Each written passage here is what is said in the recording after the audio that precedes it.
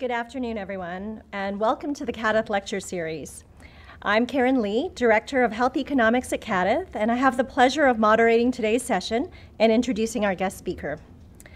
I'd like to start by acknowledging that today's talk is being presented on the traditional and unceded territory of the Algonquin Nation. Today's lecture will take about 45 minutes, after which we'll open things up for discussion and questions from our in-person and online participants. CADTH Lectures are social media friendly events, so you're encouraged to tweet using the hashtag CADTH Talks. More than, 40, uh, more than 450 people have registered for today's lecture, including people here with me today in Ottawa, and online participants from across Canada, as well as the United States, the United Kingdom, Taiwan, Lebanon, India, and Australia. The international interest in today's lecture is not surprising, the opioid crisis is a global problem. According to an article by Louisa Degenhardt, um, published in The Lancet last year, the Global Burden of Disease, Injuries, and Risk Factors study estimated that in 2017, over 40 million people were dependent on opioids, and over 109,000 people died from opioid, uh, an opioid overdose. Here in Canada, the opioid crisis continues to devastate families and communities. According to the Public Health Agency of Canada, an estimated 12,800 Canadians died from an apparent opioid related overdose between January 2016 and March 2019. Opioid addiction is a complex issue that requires a compassionate, multifaceted, and evidence based response. One of those facets is health economics, the branch of economics concerned with how to best allocate scarce healthcare resources for maximum benefit. In this lecture, the role and impact of health economics in supporting decision making will be explored using the case study of cost effectiveness of naloxone kits in the Canadian high schools and community centers uh, and community centers. Naloxone is a medication called an opioid antagonist used to counter the effects of opioid overdose. Our guest lecturer today is Dr. Lauren Cipriano an outstanding young health economist based at Western University in London, Ontario, where she is an associate professor at Ivey Business School in the department and in the Department of Epidemiology and Biostatistics. With her responsibilities as a professor and mentor, not only to mention a research agenda that has resulted in a publication history that is truly impressive, both in a number and influence, both in numbers and influence, you'd think that she'd be too busy to take anything on. And you'd be wrong. She somehow manages to contribute to project work at CADTH. She sits as a member of our new Health Economics Advisory Council, and she delivers the occasional lecture.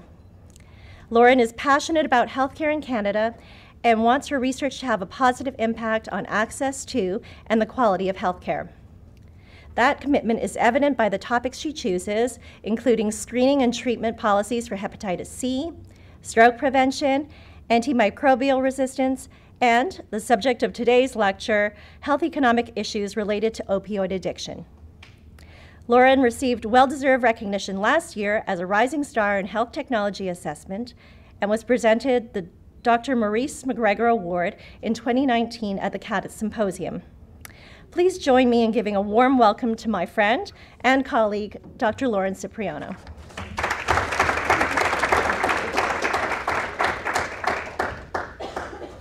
So thank you very much for having me. The Dr. Maurice McGregor Award was a lovely honor uh, last year at the symposium, and it's always a pleasure to uh, join CADTH here in Ottawa um, for many of our common projects. Um, so today I'm going to talk to you about a project we did um, uh, two years ago and last year uh, looking at the cost effectiveness of naloxone in high schools. Um, but I'll start with my disclosure. So I am an employee of Western University, but I do not speak for them. Um, I have an NSERC grant. I definitely don't speak for them. And I do project work here at CADTH, and I don't don't speak for you. Um, and uh, over the past five years, I've also done some work for the U.S. Institute for Clinical uh, Economic Review, similar to my work here at CADTH, the Canadian Foundation for Healthcare Improvement, and the World Health Organization looking at hepatitis C guidelines. I don't speak for any of them, just for myself today. So uh, two years ago in February, um, so basically right around this time, my colleague Greg Zaric and I saw this article in on the CBC News announcing that the Toronto school boards were going to start stocking schools with naloxone um, in order to respond to the opioid crisis. Um, and they said we th- they haven't had a situation where a naloxone kit was needed in a school, so this was purely preventive and not reactive to anything. Um, and they estimated that it was going to cost them between sixteen and twenty thousand dollars to prepare their staff and purchase the naloxone for um, their 116 uh, high schools in the Toronto District Board. And they compared this to pre- being prepared for, with EpiPens for people who have peanut allergies. But in fact, Peanut allergies are about 2 to 4% of the population. Bee stings is 1 to 3% of the population. And 2 to 4% of the population in high schools doesn't need a naloxone kit. And so while this is sort of like putting EpiPens in high schools to prepare for uh, anaphylactic reactions, the risk is quite a bit lower. And so we thought to ourselves, is this cost effective? Is this 16 to $20,000, which isn't a large amount of money compared to the Toronto District School Board budget? For education. So this isn't a large sum of money, but just because it's inexpensive doesn't mean it's a good use of money because that 20,000 is coming from somewhere else that our schools could be doing something. But they were motivated by the current opioid crisis, um, which is a substantial one in Canada. Um, and so what we've seen between 20, uh, 2005 and 2011 was a, a str- like strong increase in heavy duty opioids. And so um, in those cases, we're talking about things like OxyContin and Percocets, um, in contrast to weak opioids like uh, codeine, for example. And so then we saw this stark turnaround with policy changes in the late 2009 2010 era. We start to see a, a decrease in strong opioids, but a very stark decrease in weak opioids. So while the number of prescriptions is staying constant, around 20 million prescriptions a year, we're seeing a, a pretty significant decrease in uh, prescriptions for codeine. And um, we're not yet down to the 2005 numbers for strong opioid prescriptions. And so when we look at the number of people in the population that are using a prescription opioid in Canada, it's gone down um, since 2009. Um, and so, because largely due to this reduction in the use of weak opioids, um, but also strong opioids. But we're seeing this sort of plateau in sort of medical use. Non medical use has always been fairly low. Um, but maybe our definition of what's medical use and non-medical use is changing as we're thinking about the indications for opioids um, being uh, tied back to the evidence base where we think that opioids are actually an appropriate indication. And then the proportion of the population that actually has opioid use disorder and, and has problematic use that's affecting their life is actually a very small number of people, or a small fraction of people, but still an, a large absolute number of people affected in our society but not as large as the total number of people consuming opioids. When we think about the population in high schools, then um, the fraction of medical use in high schools is lower than the average medical use in the general population. Um, and so I've got two different sources here, which I think could be causing the, the sharp decrease. Um, but I was trying to string together um, some sources to get a comparison. Generally, it's lower than in the adult population, which is consistent with opioids being used for chronic pain, which is rare in high school aged individuals. But their non medical use is actually quite a bit higher according to the surveys of um, high school age, uh, grades 7 to 12 in drug use, which we do um, study annually here in Ontario. So their non medical use rates are pretty high when asked, Have you used an opioid to get high in the past year? But when asked the question, Have you used it more than six times? the numbers go down quite a bit. And so having used opioids once or twice um, in a non-medical fashion doesn't necessarily indicate uh, sort of really frequent use. But this is still a problem, and a problem that our high schools are, are struggling with and our society is struggling with. And so one possible response would be to put naloxone in schools. The opioid use both medical and non-medical and misuse can result in a large number of hospitalizations and that we've most certainly seen so um, in uh, one more fact about high school use is that compared to when I was in high school, and I don't want to speak for any of you, the use of opioids has actually gone down quite a bit. So um, for high school, so we saw this trend downward here in from uh, about 20% of people saying they tried it at least once to now down to 10%.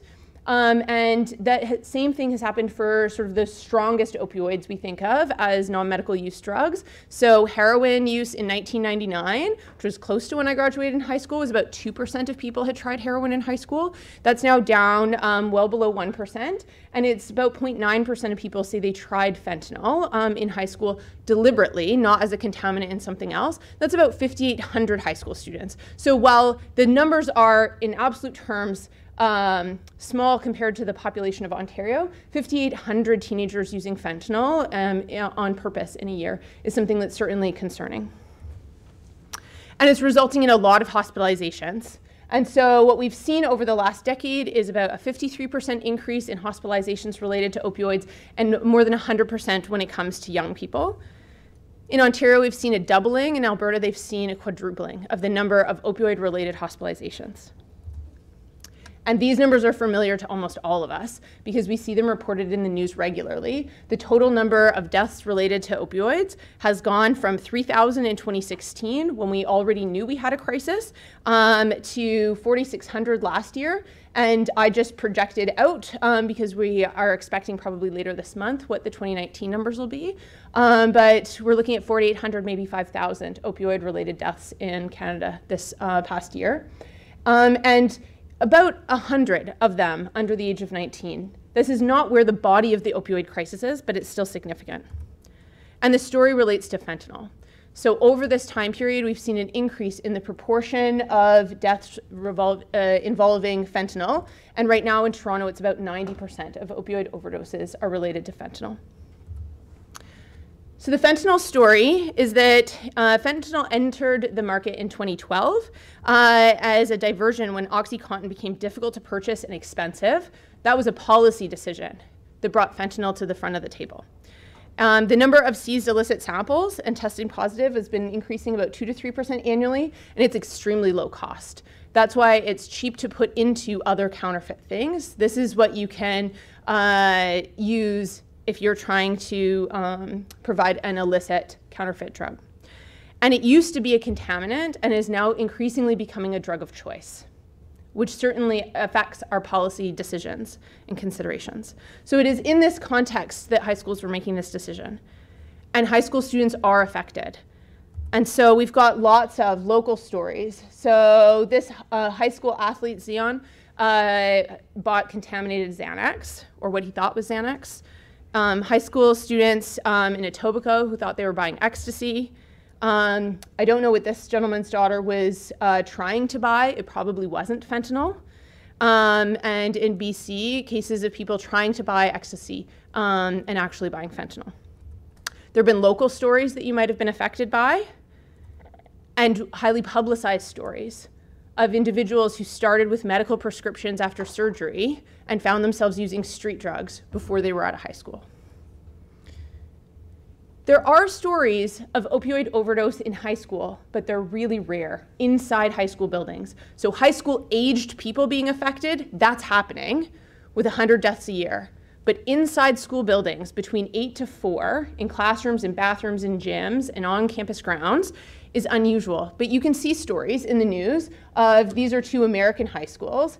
But you also identify the naivety of the users. So this quote is, there were a lot of rumors people had overdosed on synthetic meth, synthetic heroin. As far as I know, probably OxyContin because that's what seems to be the most thing teenagers can get their hands on as far as synthetic meth goes. This shows a lot of naivety about what they're actually consuming because there is no synthetic meth, that's just all meth.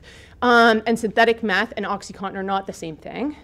Um, and so the, the high school consumer may also be pretty naive. And that's consistent with the fact that 55 to 75% of high schoolers are getting the pills they're taking as drugs to misuse from their home cabinets and the cabinets of their family members and their friends. So they're not out on the streets buying, they're out in our cabinets pilfering what is available. And so it is in these uh, in this context that many uh, school districts have been considering this decision. And I understand here in Ottawa, there is naloxone in the high schools here. And some school districts are, are putting them in and some are deciding not to. Limestone District um, in November 2017 put naloxone in their schools, and, um, and about a year later, Napanee High School, which is inside Limestone, near, it's in Kingston, um, had three overdoses in a very short time period, one of which it seemed like from the article occurred in the school. So this question of can we make naloxone more available to avoid these situations um, has been an ongoing public health trend, and we're seeing naloxone availability become more widespread in our communities. And in general, here in Ontario, if you go to a pharmacy, you can get naloxone um, if you see that uh, you believe you know somebody who's at risk and you may be um, in need of it. So what is going to be the effectiveness of a naloxone distribution program in a high school setting? So there isn't a lot of literature on this. Um, uh, one year after implementation in an Ohio police service, they saw a 15% relative reduction in mortality. Massachusetts um, had a natural experiment where they had some low adoption communities and high adoption communities when they put naloxone in the hands of high risk individuals. And they saw a 27% reduction in mortality um, in the low adoption communities and almost a 50% reduction in the high adoption communities. But this is putting naloxone in the hands of people who are most likely to use it and to know that the person they're with has used an opioid. And witness bystanders uh, report when they report using naloxone, they say it did what they expected it to do about 95% of the time. So it's not clear how good high school teachers and staff are going to be in an effectiveness setting because in the places we've seen it be the most effective, we know that the person with the individual overdosing knows what they've taken and knows the circumstances that they're in. Um, in the case with the police, you've got a more realistic first responder situation where you have some uncertainty about why the person might be unconscious or why their respiration rate might be very low, um, and some training into the other signs and symptoms about pupil dilation and things like this, and also some training about the cognitive biases about who might be an opioid user and who is not. And so police might be, in fact, better than teachers and staff who wouldn't necessarily have this training. Um, and so we might think we're going to be on the low end, not the high end, of, of being able to reduce mortality with naloxone in the hands of teachers and staff. There have been four, at the time that we did this, there have been four um, cost effectiveness analyses um, using models, uh, two US models, one UK model, and a Russian model, looking at the cost effectiveness of naloxone distribution to high risk individuals. Um, and so they focused on groups of people who had an annual risk of overdose of between 7 and 20 percent. Uh, they found that it reduced opioid mortality by 6 to 13% in absolute numbers, so that's more than a 50% reduction in mortality. Um, and they found an incremental cost effectiveness ratio of $2,000 per QALY gained, and that's cost effective everywhere. And so this would be high value, um, and it's very likely high value in Canada in a similar way. But high schoolers don't have a 7 uh, to 20% annual risk of opioid overdose. And so we wanted to know under what conditions could school based naloxone be cost effective? So we need to account for all the costs and then what was going to be our incremental effectiveness. We're going to have some setup costs, and they told us they were going to cost them about $8,000 to put naloxone in 114 schools.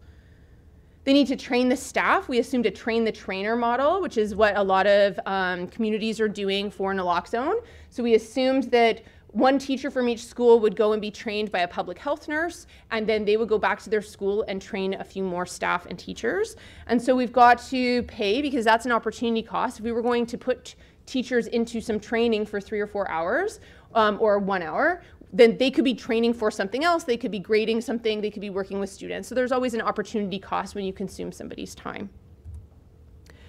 And we followed the Toronto District School Board rules. If you're going to have a capital expenditure, and this is a small one given their budget size, but we amortize this over 10 years. Um, so this, is, this number isn't going to overly burden the analysis.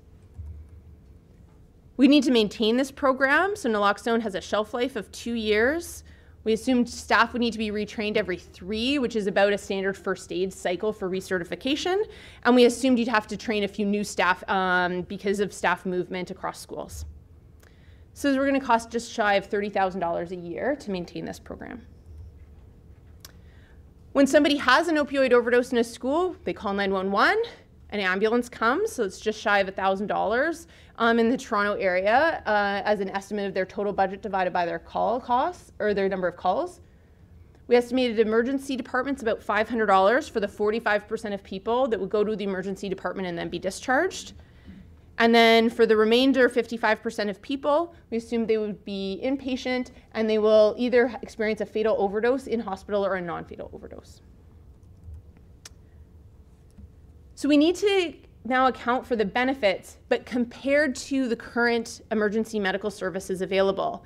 And so at the time, we looked at the Toronto reporting for opioid response, um, and their overall mortality rate is between uh, 5 and 7%. But in some of those cases, naloxone was used by a community member. So we pulled those out and estimate between 5 and 10% fatality for opioid poisonings um, that are responded to by Toronto EMS. And so for this analysis, I'm going to use the 10% number. So how much better are Toronto going to, er, are teachers and staff in a school going to be? Are they going to take that 10% down to like eight and a half? Or are they going to be able to take it further? Are we going to be able to take that 10% down to five? But that's what we're talking about. 90% of people were going to survive anyway, partially because not all overdoses are fatal and partially because EMS was going to respond and provide timely and efficient first response care and get people to medical care in a timely fashion. 90% of people were going to survive anyway, and now how many more people are we going to have survive because of this? But to think about, uh, to use naloxone, you have to have suspected an overdose. And I think this is the real barrier to success in this setting, is that if a teacher walks into a bathroom and sees an unconscious student on the floor, it is unlikely that they are first going to think this might be an opioid overdose. There are many more likely things, including choking um, or an anaphylactic reaction, that would be the more likely causes of this unconsciousness. But in proper health economics, we keep plugging ahead um, because it matters that once we save that life, what's going to happen for the whole rest of it? Um, and so if we look at an average Canadian um, conditional on being 16 years of age, we can look at their lifetime discounted costs, how many lifetime discounted life years, and the discounting on life years is very disappointing as we age. They just keep going down. Um, and our quality, lifetime discounted quality adjusted life years. So if you save somebody, how much more healthcare costs are they going to incur in society? How many more life years are they going to get? And how many more quality adjusted life years are they going to get? And uh, when we put this in there, reviewers said, wait a second, they just had an overdose. That should have some long time consequences. We said, mm, but we don't know. We don't think that high schoolers who are overdosing have a substance use disorder and have a long term chronic condition. We think that they're probably more like these people who've used it one to five times in the last year. Um, and so that becomes uncertain in our analysis, but every variable we can put in the model and then critically evaluate to whether or not it matters. So we had to model individuals with substance use disorder. So one year mortality after an overdose is about 10% because your risk of a second overdose is very high. We've got uh, relative risk on our standard mortality rates. We put 25% of people on um, opioid agonist uh, therapy and appropriately reduce their mortality, reduce their costs, and increase their quality of life as a result. And so, if a Canadian um, with substance use disorder at age 16, they have lower lifetime healthcare costs, lower life years and lower quality adjusted life years than if they didn't have a substance use disorder. And we'll consider both of these possible cases, but now we'll consider our base case being that the surviving individual does have a substance use disorder. And so now we've got our total analysis. If we have no school naloxone, we have no program costs. We still have some direct healthcare costs from a potential risk of somebody having an overdose um, and uh, and having future healthcare costs associated with that. With the school naloxone program, we incur $37,000 in costs annually, both in setting up the program and then maintaining it. Then we see a reduction in these direct healthcare costs of the ambulance um, and the hospitalizations, mostly due to the reduction in mortality, because that was the highest cost hospitalization. We see an increase in our expected future healthcare costs because we've got more people surviving um, higher life years and higher QALYs as a result. But then the question is that's on a per overdose level. So, how many overdoses are there going to be across the 112 schools in the Toronto District School Board next year? And currently, we've seen none, ever. And so that becomes uncertain. And so we say, well, let's just put no naloxone program here, and then we'll do all the incremental costs and all the incremental effectiveness relative to a world um, with no naloxone program.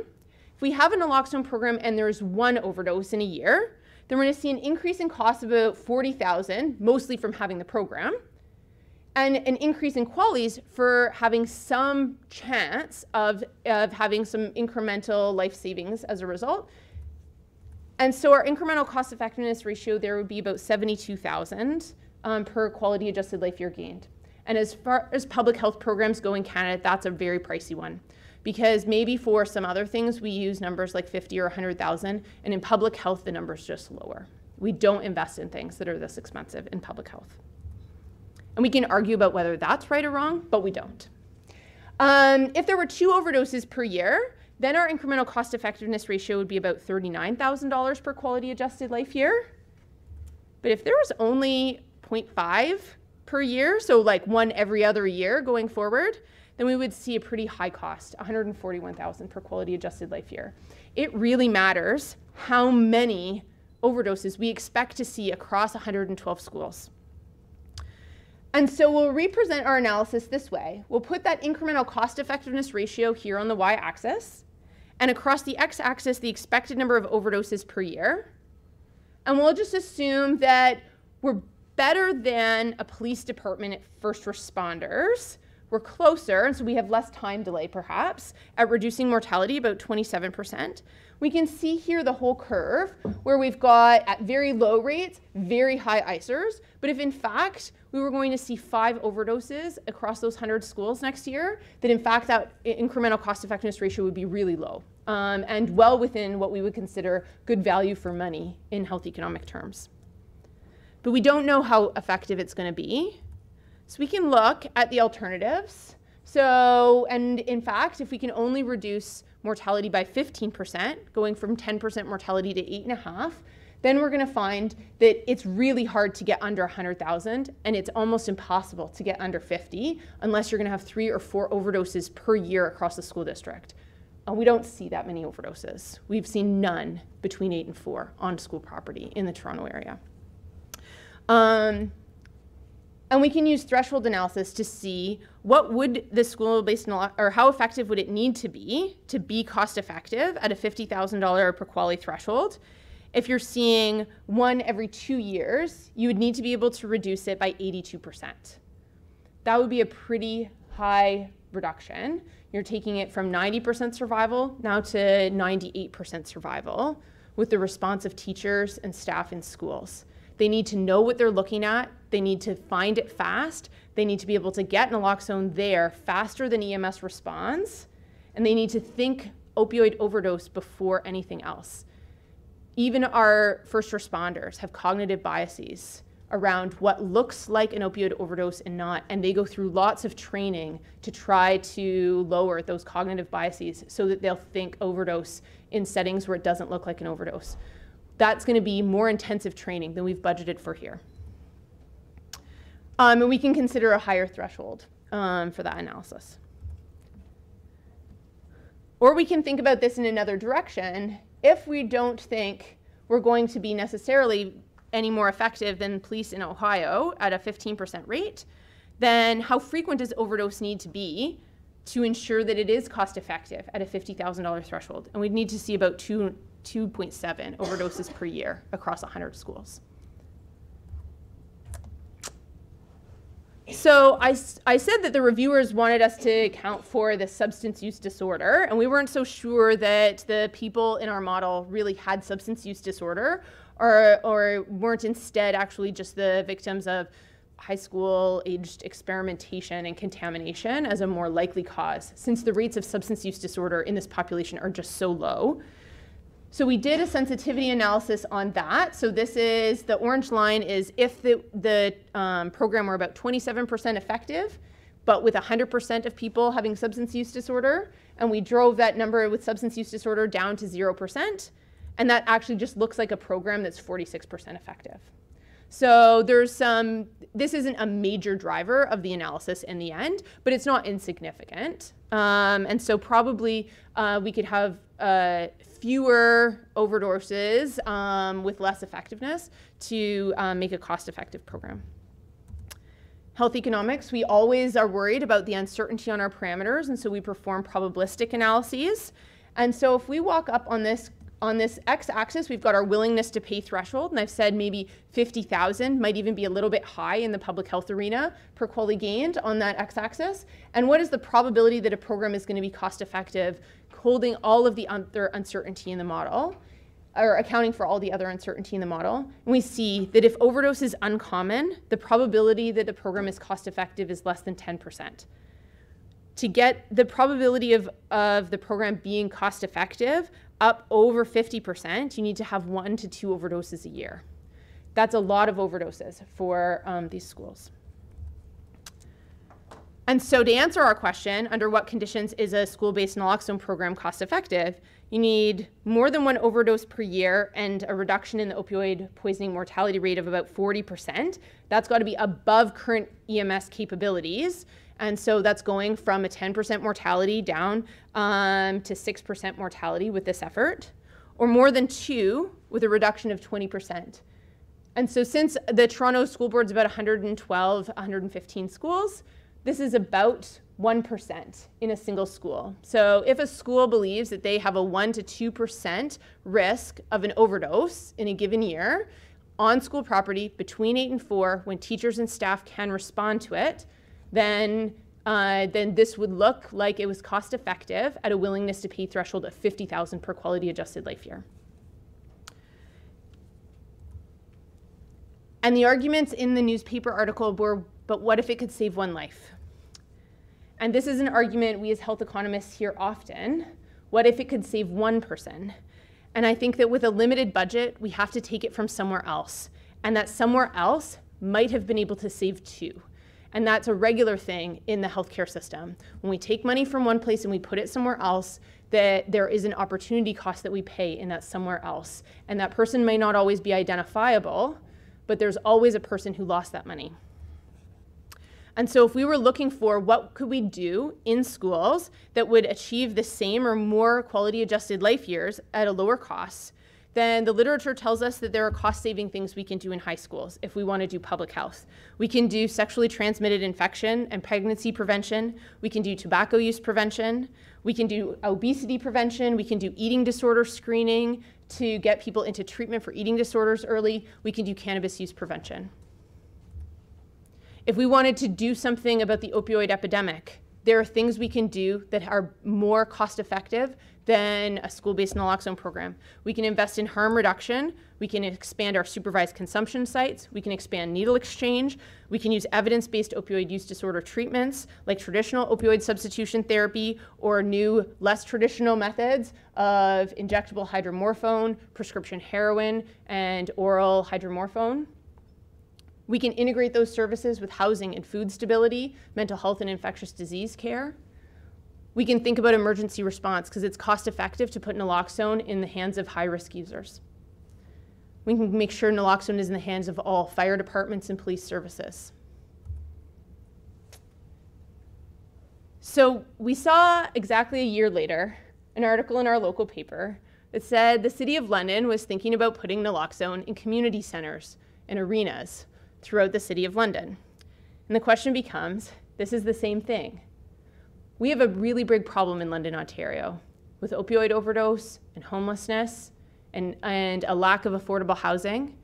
And we have a, a very high rate um, of people on the street um, and using injection opioids. And this program was not going to cost a lot. This article describes it being a fairly low cost program. That they're going to invest $16,000 in putting two naloxone kits in 29 community centers and arenas. It's low cost, but what are the chances that it's going to be used? If we think about the skating rink that you do free skate at, or the community center that you take your kids to do um, free swim at, these are the types of facilities we're talking about. And so we did the same analysis for the City of London, looking at 29 city facilities to see under low to moderate effectiveness, so 15%, or moderate to high effectiveness, or 27 to 46%. What are the chances that this is going to be good value for money, have a willing, or having an incremental cost effectiveness ratio of less than $50,000? We need to see one to two overdoses a year in these facilities and the interesting part here is that they weren't planning on training the staff in these facilities. They expected um, people in the general population. They were going to put these naloxone kits with the public use AEDs. And it's research here at the University of Ottawa in the early 2000s that told us that public AEDs are very unlikely to be cost effective in many of the places we put them. And in fact, are only probably cost effective in casinos not shopping malls, not arenas, not swimming pools, because those are places where it's very unlikely that we're going to need public use AEDs. And when we do need them, bystanders don't know how to use them. And so even though the devices talk you through the entire experience, pulling it out of the wall is an effort that requires training and confidence that you can respond. We're going to see the same thing here. You're at free swim with your kid and you see somebody unconscious on the floor are you going to recognize that this is possibly an opioid emergency? Go over to the public AED station, grab the naloxone kit, and intervene. We have to assume a large number of people are going to be able to do that, recognize that situation, and act in that way um, without any training. And I think that that's where we start to get into cases where can it really then result in 15 or 50% mortality reductions? Or is it possible that sometimes people will have the training, the skills, and the knowledge to do that, but it's not going to happen frequently enough to result in 15 to 50% mortality reductions. Our public health resources are really limited. And we have a lot of problems in public health in my community, and I'm sure in yours as well. Cost effectiveness analysis can help us guide how we make resource allocation decisions. We need to think, though, about the incremental effectiveness. In this case, our first responders are doing a pretty good job. And so with the, if they've got 90 to 95% survivals on opioid overdose calls, and we can increasingly arm uh, our firefighters and our police officers who we can train to make sure that they're less subjected to the cognitive biases um, about who's overdosing and who's not, we can make a high impact there. Those are people who are going to arrive at the scene of overdoses. We can put naloxone in the hands of people who are at high risk for observing an overdose because they themselves are an opioid user or they are family and friends of opioid users. Putting it in the hands of people who are likely to suspect an opioid and recognize that they're in that situation is going to have the highest impact. And incremental costs. Inexpensive doesn't necessarily imply good value. Spending a small amount of money $30,000 a year or 16,000 as a city may seem like a really small drop in the bucket, but our city budgets are really tight. And this might make us feel good, but it's not making our public health situation any better. And anytime resources are spent on programs that are not cost effective, they take money away from programs that are. So a year goes by, and February must be opioid month in the newspaper because I saw this in the New York Times uh, a few weeks ago. So this program in Carter County, Tennessee is now training elementary school children to use naloxone. That's not to, to treat their classmates. That's potentially to treat their parents and their caregivers. We have a serious opioid epidemic in North America. And we have to deal with it, but we're not going to deal with it by putting naloxone in places that make you and I feel good we need to put it in places where people are going to be able to use naloxone. There should be no shortage of naloxone at um, places where people who are using and interact with users are going so that they can always replace a used naloxone kit and get another one. We made our spreadsheet model that we did this analysis with public. Um, and so if you would like it, I'll put my email address up at the end to make sure that everybody can access it. You can then change um, the gender distribution, the age, the proportion with chronic substance use disorder, the efficacy of the program and the training um, that you would invest in as your community. And so any school in Ontario or across Canada anywhere in the world, I think, um, could uh, modify our model to evaluate whether or not it's cost effective in their own school. And it's possible it's cost effective in your school. Um, and in Canada, we think school-based naloxone is likely cost-effective if there's a greater than 2% risk your school is going to experience an opioid overdose in the school, 8 to 4, that staff and faculty can respond to. It's possible, though, that if you know somebody is in that situation in your school, that the right thing to do is not to have naloxone in the office, but to have naloxone in the hands of that individual and their friends and their family members, maybe their teacher um, but making sure that naloxone is delivered to the people at highest risk. The opioid crisis is a tragedy requiring action. Um, the, there are more than twice as many deaths right now from the opioid crisis is there are motor vehicle collisions, no matter what the number comes in in this year. I don't know it'll be more than twice um, the motor vehicle collision rate. This also has a really high impact on the individuals who are currently living through this crisis on a day-to-day basis. So the work of Gillian Kolla at the University of Toronto um, has identified that about 50% of people who use drugs have experienced at least one overdose in the past six months, and almost a third have experienced two. 70% have witnessed more than two overdoses, and 45% have experienced the loss of the friend or a family member in this crisis to overdose. There are people on the front lines of this crisis. They're just not in our high schools. An example of a really good modeling effort for what we should be doing as a society. Um, this work of Allison Pitt and Margaret Brandeau from uh, Stanford University, they built a large dynamic compartmental model looking at many different interventions that we could be considering um, in the opioid epidemic and they compared um, what the expected change in opioid deaths would be over a 10 year horizon, given a large number of different interventions that we could be doing as a society. You'll notice that naloxone to people at high risk of overdose is at the top of the list. Medication assisted treatment, which is, in, is more readily available in Canada than it is in the United States, but expanding medication assisted treatment decreases opioid mortality over 10 years the things we've been spending our time doing are the things that increase opioid mortality. Prescription monitoring programs and drug rescheduling, barriers to refill. These are driving people from safe opioids that are pharmaceutical grade, that are of a known potency. They're not putting people into any sort of treatment programs. They're driving people to unsafe and contaminated street supply and that's why we see an increase in mortality over a 10 year horizon. It's possible that eventually you would get positive health benefits from programs like that, but in the short term, people are switching from prescription supply to street supply, and the street supply is increasingly contaminated. Right now, the fentanyl supply in Ontario is really contaminated with benzodiazepines, and it's really strong. And so, as people are going out to buy fentanyl because they don't have access to the prescriptions they've had before, there we're seeing stark increases in the fatal overdose rates just this week. And so, these are real problems.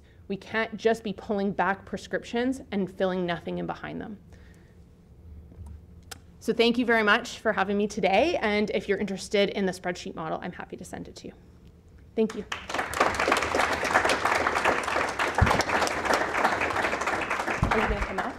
Okay. Thank you, Dr. Cipriano, for your presentation on an important topic, um, which highlights the use of cost-effectiveness research. Um, we now have some time for questions. We'll take as many questions as possible, alternating questions in the room and for those online. Um, if you're in the room, please raise your hand, and when I call you, be sure to turn on your microphone so that the online attendees can hear you.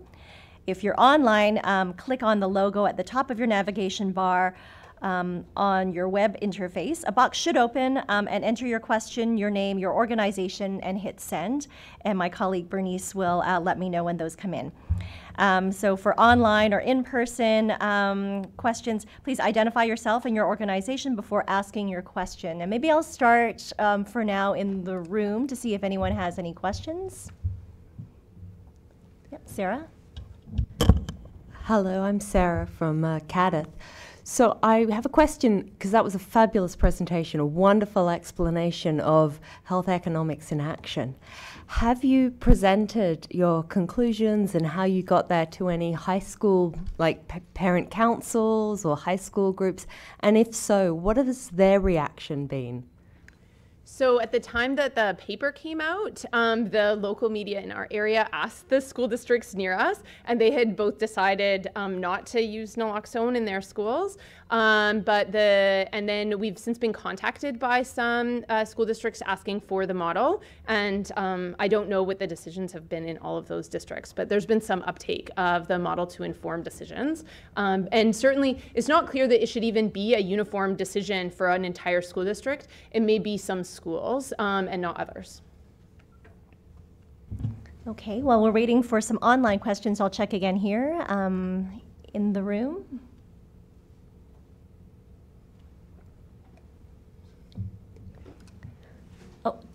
Brian?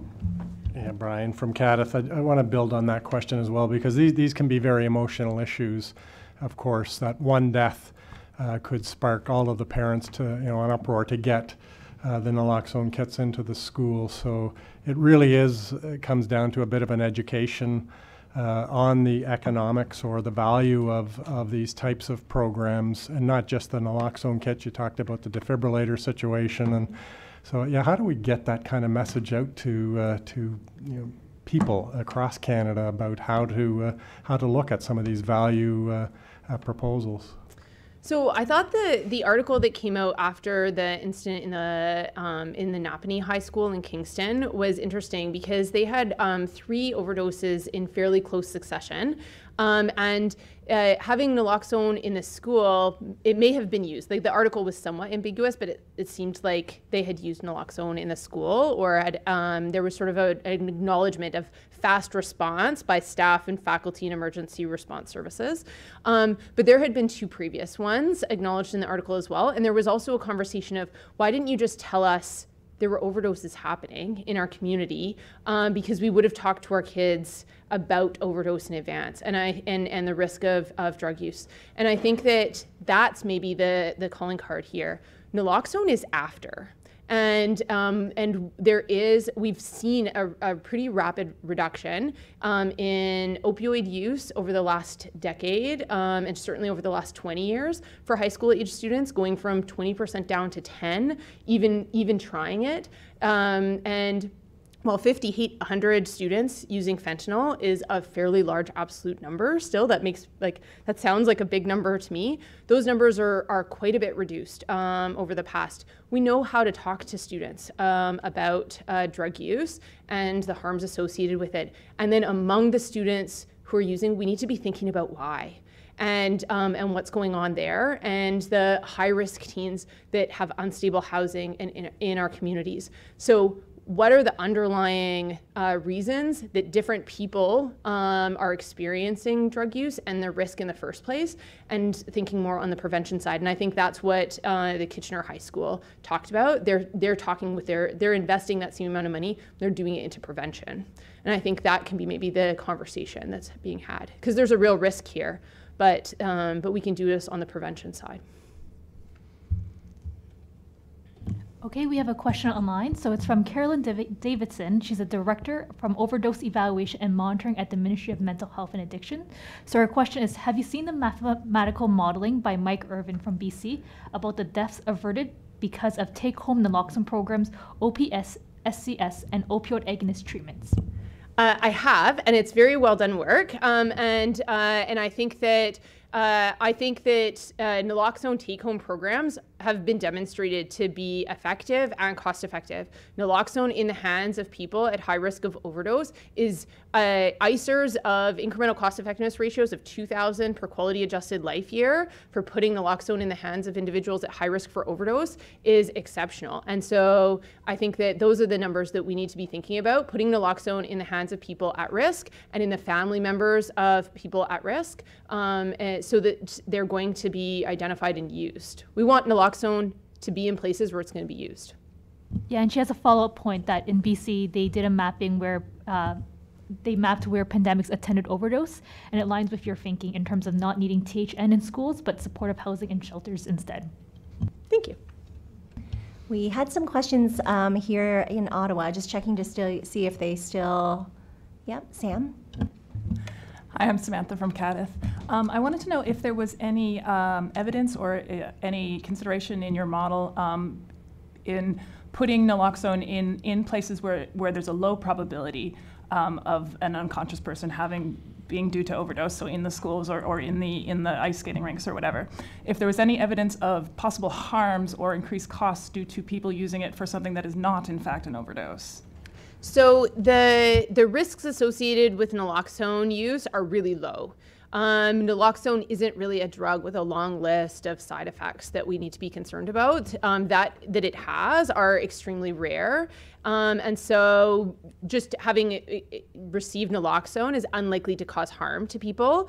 What it may have caused is a delay in effective treatment, and so especially if you're having to go all the way down to the office and all the way back, if what actually has happened is the person's choking, then then you have not provided timely, effective first aid in that moment because you did something else.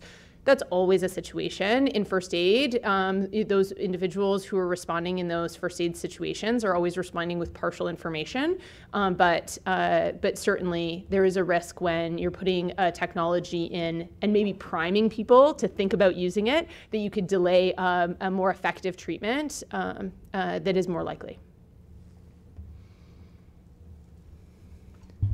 Hi, I'm Matthew Young. Oh, sorry. I'm Matthew Young from the Canadian Center on Substance Use and Addiction. I'm wondering, just based on your work, I, really interesting, um, where might naloxone be cost effective where it currently isn't? Do you have any sense of like just based? This is just kind of speculation because you haven't done the work, obviously. But where do you think like it's it's in a lot of community health centers and things like that. But where might it achieve kind of your cost effectiveness where we might not think to put it? So I think that one of the things that I would be thinking about is um, what would be the prescription pattern that would make me think somebody should also be prescribed naloxone. And so I think right now we're thinking about people who are um, have uh, opioid use uh, and are at high risk of addiction because they're using a lot of um, unregulated street supply that has unknown potency and really unknown composition in general. And so those individuals should be able to access as much naloxone um, as possible, and it should be in supervised consumption sites, and it should be um, available at pharmacies for people to self-identify that they are the family member of somebody that is at risk and they would like to get it. All of those individuals. But I wonder if there's a composition of prescription patterns that might indicate that somebody is also at risk of a medical accident, um, and that there's some composition there where naloxone um, uh, should be co-prescribed, essentially with some uh, certain level of, uh, of opioid um, prescription. And that, that's where I would think, but, uh, but I don't know that it, that would be cost effective. Okay, we have another question online from Nicole Mittmann, who's our chief, chief scientist at CADTH.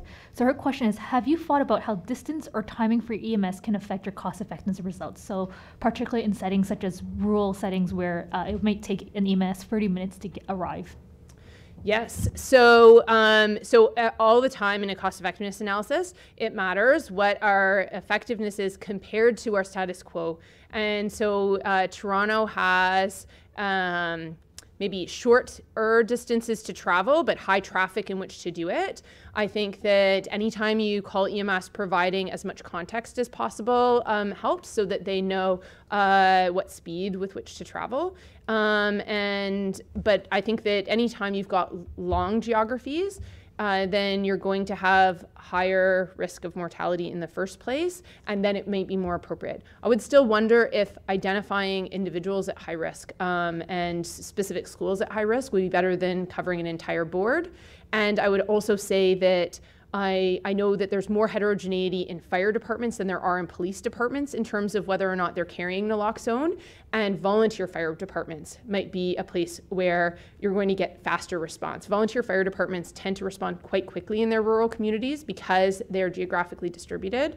Um, and so you may find that uh, rather than putting it in schools, is making sure your first responders are armed and trained to use it, I think um, is more likely to be cost effective than centering it at a school.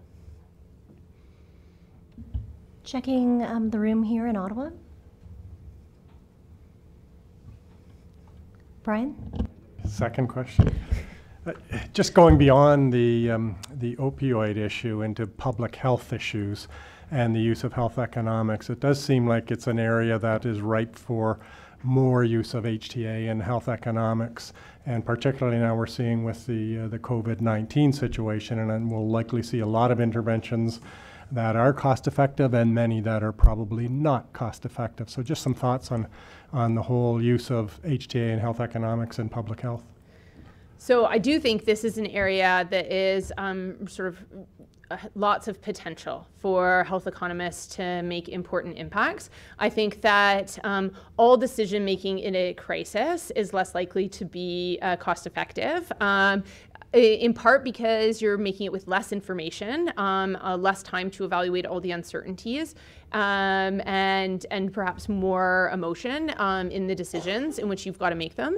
And so I think that there's a lot that we can learn about uh, epidemic preparedness and the cost effectiveness of different um, health interventions and uh, quarantining interventions, hand washing interventions, communicating those messages to people that are already in the literature that we can learn. Um, there was a lot of modeling effort after um, SARS in Toronto, and we can learn a lot from that. But there's also a lot um, sort of general knowledge in the epidemic modeling literature about the balance between treatment and prevention, the benefit um, of, of quarantining, um, and, and really even in the health behaviors literature about the efficacy of those types of interventions. And I think that building all of that type of stuff into our models so that uh, we can thoroughly evaluate these things and make wise choices, um, often because we already have the plan. We want the plan just to need to come out of the folder, not to have to be created new.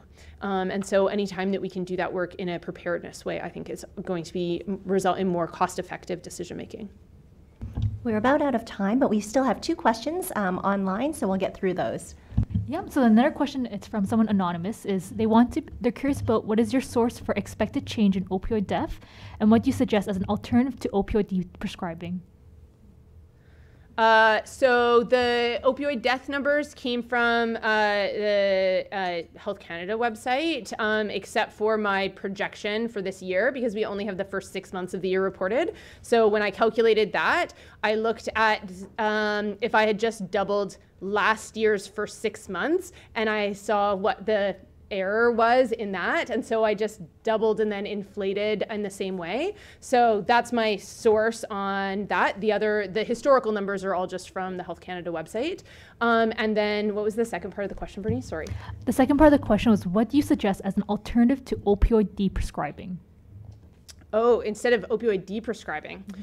So I think that as we think about um, uh, opioids and the way they've been prescribed for many different reasons in the past, I think that uh, people who have been on long standing prescriptions uh, need to be working with their practitioners um, and not just having their prescriptions cut um, and, and reduced substantially. And in some cases, that's access to things that we don't cover in public health care. So if what you ultimately would have benefited from at the time of your original injury was physiotherapy, if we don't cover physiotherapy, then, um, but now you're 15 years later and whether you have been consistently taking your pills exactly as prescribed, your body is addicted to opioids, and um, and just pulling people off of opioids is driving them to a dangerous street supply.